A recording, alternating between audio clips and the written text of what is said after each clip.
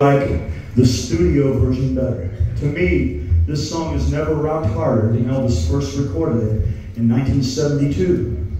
Now I gotta tell you, this song was not a number one record.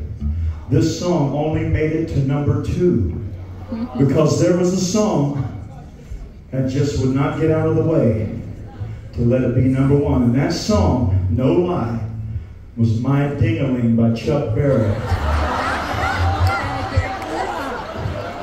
My dingaling would not get out of the way. It just kept hanging in there. Get your mind out of the gutter. So this song had to set at number two because of my dingaling. But it don't get no better than this for a rock and roll 1970s Elvis song called Burning Love, baby.